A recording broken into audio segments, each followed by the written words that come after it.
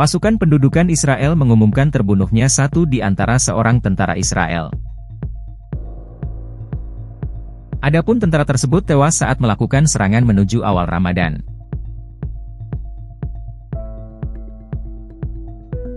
Diketahui, tentara itu tewas dalam pertempuran melawan Hamas di Gaza. Tentara yang tewas tersebut ialah sersan kelas 1 Michael Gall yang berusia 29 tahun.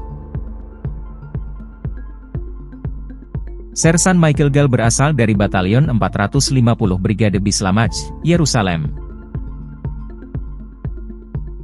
Tentara tersebut terbunuh di hari yang sama saat IDF mengumumkan kematiannya.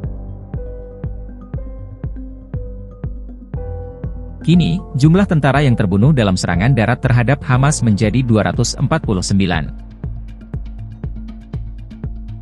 Pemakaman Gal terjadi setelah Mayor Amishar Ben David di Gunung Hers di Yerusalem. Download Tribun X sekarang, menghadirkan lokal menjadi Indonesia.